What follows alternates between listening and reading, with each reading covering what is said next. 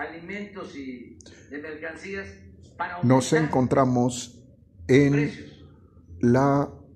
oficina la de atención ciudadana en Palacio Nacional, Presidencia de la República,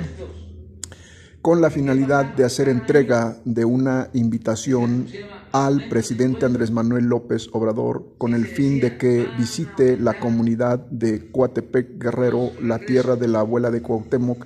en donde se realizará la ceremonia de equinoccio de primaveras eh, Tlacaxipehualistli y también se realizará una actividad para efecto de conmemorar a. Benito Pablo Juárez García, el presidente Benito Juárez, un presidente indígena en una comunidad originaria como es el caso de Coatepec, el próximo 21 de marzo del 2023.